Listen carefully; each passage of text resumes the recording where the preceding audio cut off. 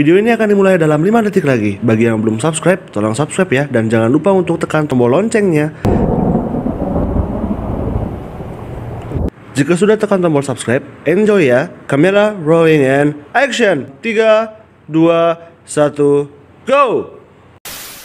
Kali ini kita akan ngomongin tentang pinjaman online yang aplikasinya banyak banget di Android atau App Store. Mungkin kepepet atau butuh, pasti minjem ke pinjaman online. Sebenarnya sih jujur gue juga belum pernah sama sekali buat pinjaman online. Nggak butuh-butuh banget sih sebenarnya. Masih masih cukup lah buat beli Marlboro gitu. Oke, jadi di sebelah ini ada narasumber. Dia katanya pernah melakukan pinjaman online. Anda sebagai korban pinjaman online, sebagai buron. jadi gue pernah gitu pinjam di aplikasi pinjaman online gitu sekedar buat iseng-iseng doang di gue download di Play Store iseng gue download terus gue ajuin gue isi data.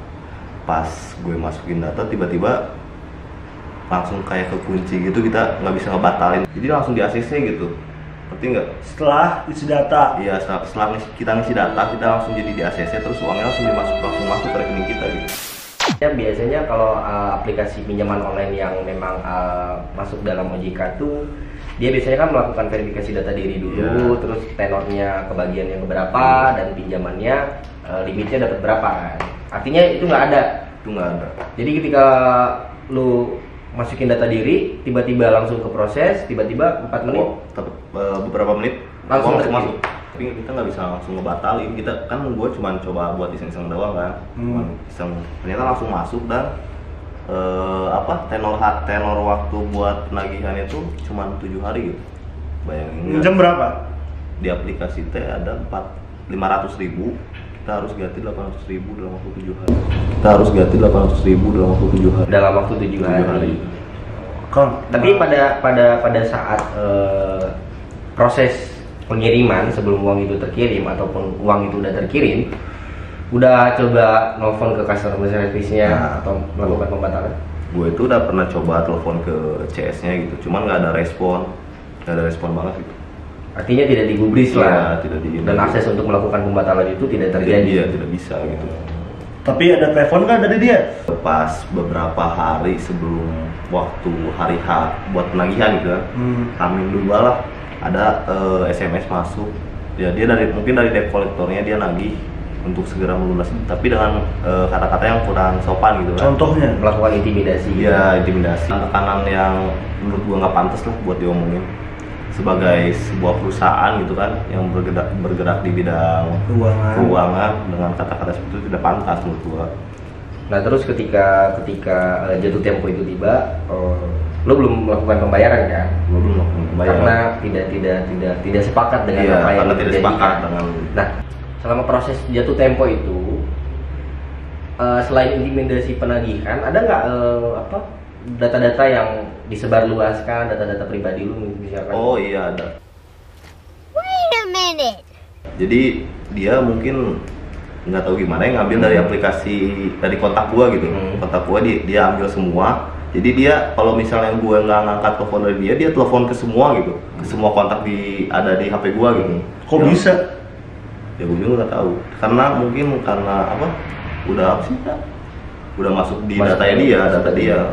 Terus kabarnya juga lu sampai eh, ke ini ya, maksudnya sampai dikeluarkan dari tempat pekerjaannya. Iya betul. Gara-gara pihak pinjaman online melakukan Dia telepon. iya telepon ke kantor bilang ya bla bla bla gitu kan bilang e, karena gue nggak bayar gini gini gini jadi merusak nama baik gue gitu jadi merusak nama baik gue gitu jadi merusak nama baik gue gitu Udah dikeluarin dari kerjaan. iya Nah buat sekarang, apakah pinjaman itu masih masih terus berlanjut? maksudnya Eh, belum ma- masih ada tunggakan? masih belum belum, belum masih belum oh, belum bayar Berarti sampai saat ini masih ada ada intimidasi terus menerus teleponan. Ngeri ya. Ternyata pinjaman online ini seakan-akan memberikan solusi yang Tapi- berakhirnya jadi fatal permasalahan yang baru gitu kan. gue bukan solusi sih Iseng-iseng. Dan dan, dan sebenarnya lo bukan orang yang pertama gitu lo menjadi apa menjadi korban dari Nah. pinjaman online sendiri. Tapi eh, ya di sini kita tidak bisa menyalahkan satu pihak saja gitu. Coba terkadang kan mungkin ada beberapa masyarakat di kita ini yang eh, dalam posisi yang membut sangat butuh akhirnya tanpa Tanpa pikir pinjam panjang. tanpa pikir panjang dan melihat dulu kan gitu. Eh, apa apakah aplikasi ini memang eh, aman gitu kan? Terus tidak tidak tidak sampai mengambil data diri kalian terus tidak melakukan intimidasi kan gitu cara pandang itu privasi ya kalau data diri. Eh maksudnya ngambil kontak gitu kan tanpa Iya, izin kita. pasti dong. Tapi kan masa dari 500 jadi 800 Nah. Gimana ceritanya? nah, gue juga nggak ngerti kalau soal kayak gitu. Dia ngambil untungnya gimana dia 7 hari gimana, 500 dalam waktu balikin 800 dalam waktu tujuh hari ya. Gitu. itu butuhnya malah kita yang ngutang? Sekarang kalau misalkan penerimanya sekitar 448 atau sampai 500 mengembalikan dengan 700 itu kan dari satu debitur saja. Eh, dapat 700 dia satu minggu dalam posisi ada berapa mungkin ya debiturnya dia bisa mendapatkan penghasilan satu bulan kisaran miliaran rupiah. Tapi kan nggak nggak bagus dong buat yang minjem. Maksudnya kan dia mengharapkan 500 dapat nih sehari. 7 hari langsung harus bayar 700 kan? Dapat duit dari mana? 500 masih di tangan. 200 dari dari ke mana langsung Iya. diwantet. Mungkin ada dari teman-teman yang mengalami hal yang sama terkait tentang eh, kasus pinjaman online dan bagaimana solusinya. Jadi di sini kita memberikan solusi ya Oh. yang mungkin bisa dicerna oleh banyak orang kalau bisa sih jangan lakukan pinjaman online sih kalau gitu. Ya kalaupun melakukan pinjaman online pun kita harus lebih bijak untuk memilah dan memilihnya. Jadi di sini kita akan memberikan suatu eh, refleksi baru eh, terkait tentang eh, wawasan baru ataupun cara, tips atau trik untuk mendapatkan pinjaman online yang aman. Nah, di sini kita akan berbicara tentang yang namanya aturan ataupun hukumnya. Banyak pertanyaan di masyarakat, ketakutan di masyarakat pun, eh, apakah pinjaman online bisa dipidana nggak ya? Apakah pinjaman online bisa dipenjara nggak ya? Jadi gini teman-teman, jadi gini Pil. Yang teman-teman harus tahu dan Pil harus tahu, yang namanya pinjaman online tidak dapat dipidana. Tidak dapat dipidana. Kenapa tidak dapat pidana? Karena kalau kita baca undang, eh, pasal 19 di Undang-Undang HAM mengatakan bahwa tiada satu putusan terkecuali putusan hakim dapat mempidana terkait tentang hutang piutang. Karena itu posisinya hutang piutang biasa saja. Jadi bukan yang uang gede gitu kan Bukan, karena statusnya hutang piutang yang dapat bisa diselesaikan kesepakatannya. Jadi eh, lo nggak perlu takut, aduh takut di penjara nih, karena nggak ada dasarnya kan gitu. Karena dia ada posisinya hutang piutang yang larinya ke perdata, bisa diselesaikan secara melalui hukum private perdata.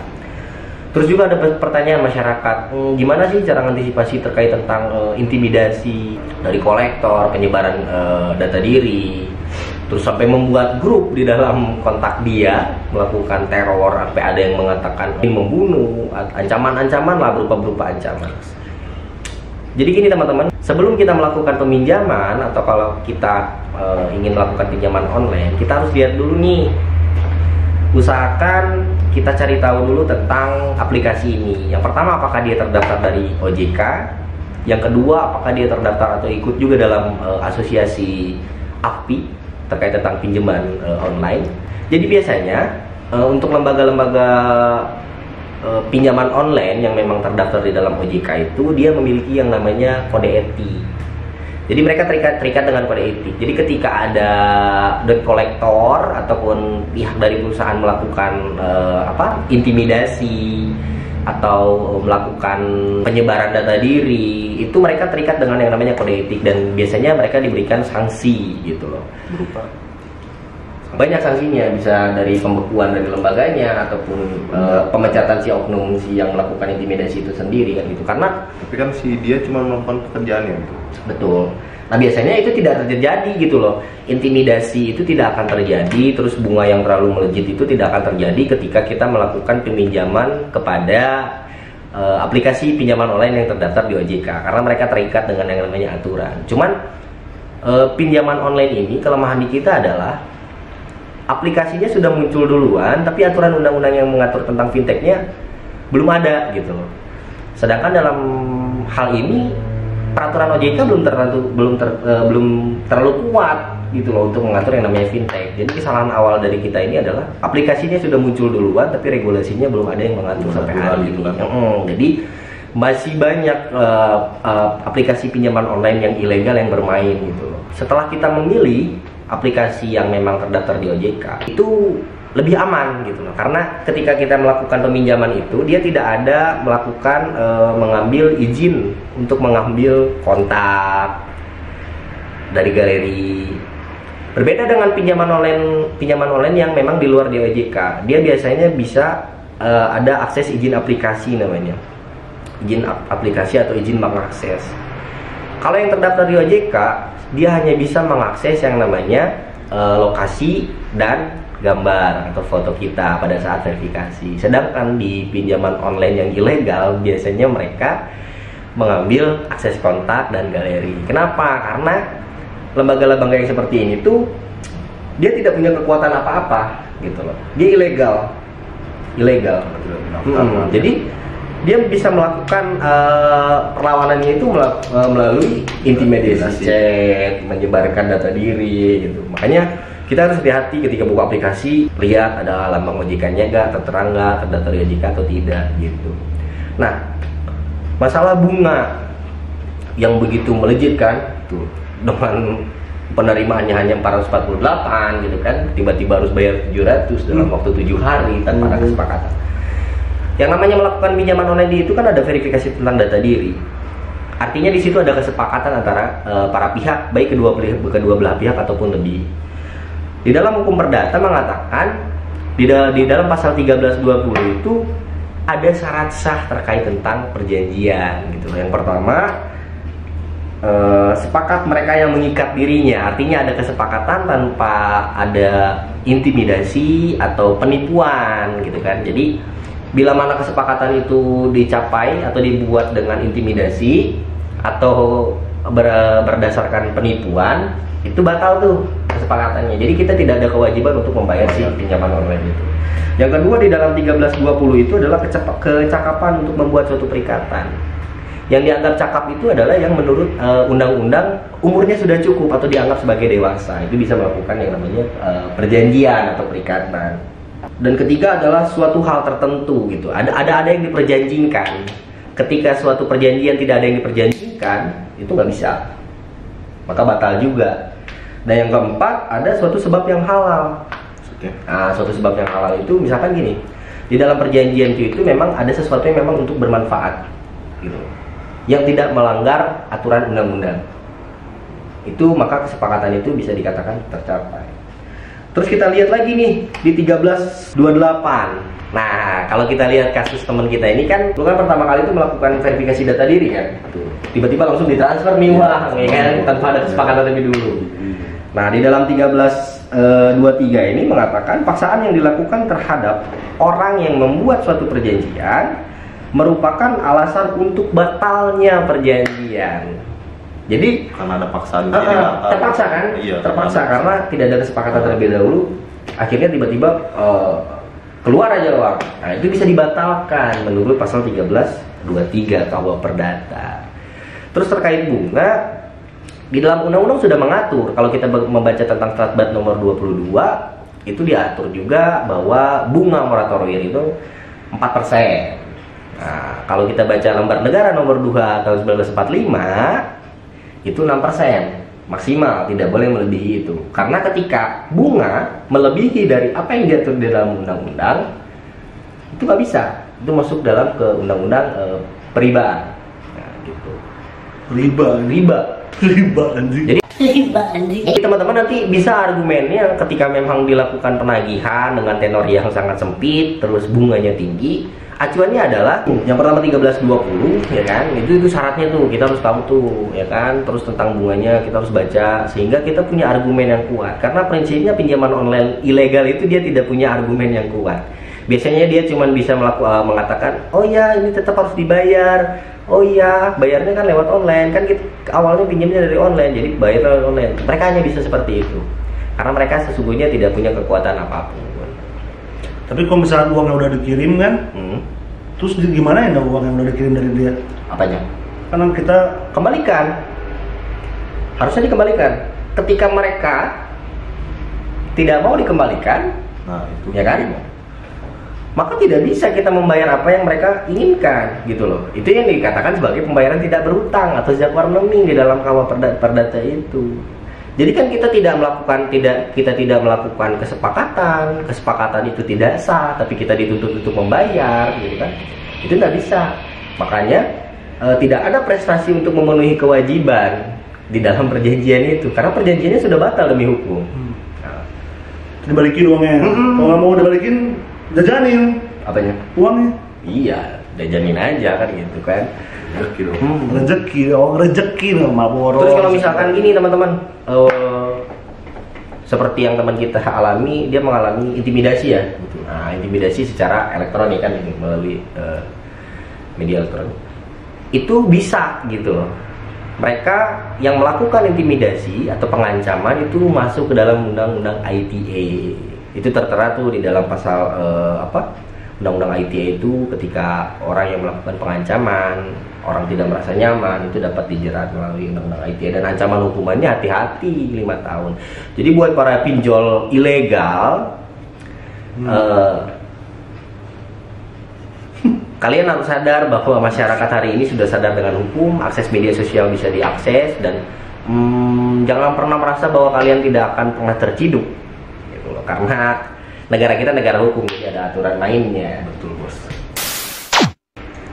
Lucunya di kita ini, kita melakukan pinjaman, ketika kita tidak sanggup bayar, kita memposisikan diri sebagai korban Hmm. gitu loh. Padahal seharusnya kan logikanya adalah orang yang meminjamkan itu yang tidak dikembalikan uangnya itu sebagai korban.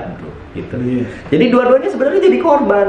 Yang melakukan peminjaman jadi korban karena tidak dibayarkan, tidak dikembalikan apa yang menjadi haknya. Orang yang dipinjamkan menjadi korban dari oknum pegawainya karena dia melakukan intimidasi gitu loh. Tertekan jadinya. Hmm, makanya kitanya harus lebih hati-hati dan kitanya harus lebih bijak memilih aplikasi itu sendiri. Gitu. Hmm, Kan selain pinjaman online pun masih ada pinjaman-pinjaman konvensional seperti koperasi dan sebagainya lebih aman gitu kan. Pokoknya perhatikan aplikasinya yang pertama, apakah itu terdaftar dari OJK atau tidak. OJK bisa dicek di webnya. Yang kedua, perhatikan proses perjanjiannya. Jadi kalau ketika dia mengambil akses kontak galeri, lebih baik batalkan. Hapus langsung aplikasi. Yang ketiga, lihat bunganya. Yang keempat, lihat tenornya.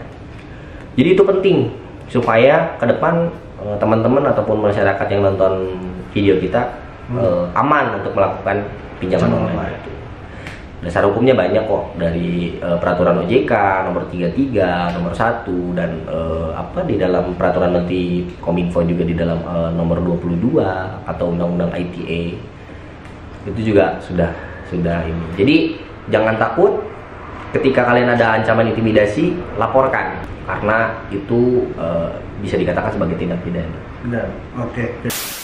Semoga kita bisa memberikan sebuah solusi yang selama ini membuat masyarakat takut gitu akan rentenir debt collector yang, yang anjing sebenarnya sih.